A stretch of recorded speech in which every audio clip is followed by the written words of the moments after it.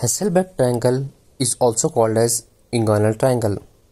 It is the region of the lower anterior abdominal wall or groin.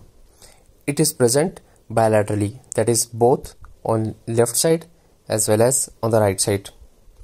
The size of the Hesselbach triangle varies from person to person as each individual's anatomy and body is different. As it is a triangle, so it has three boundaries.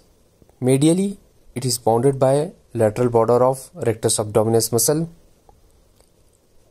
Laterally, it is bounded by inferior epigastric vessels, whereas inferiorly, it has inguinal ligament.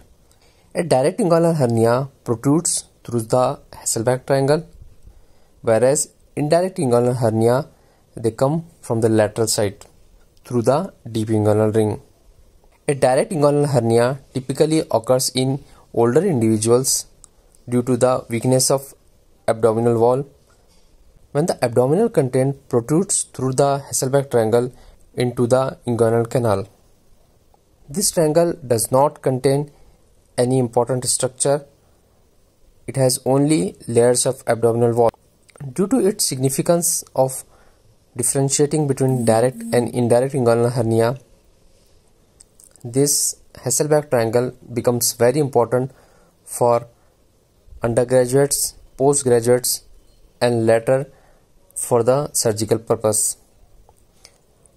This can be easily remembered by a mnemonic rest in peace where R stands for rectus abdominis muscles lateral border which is the medial border. I stands for inferior epigastric vessel whereas P is for Poupart ligament which is another name of inguinal ligament. Another way to remember it is that the three boundaries are made up of different type of structures.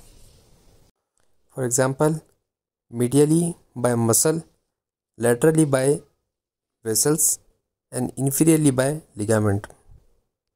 So this was all about Hesselbach triangle. I hope you like it. If you found it useful, share it with your friends and do like the video. Thank you.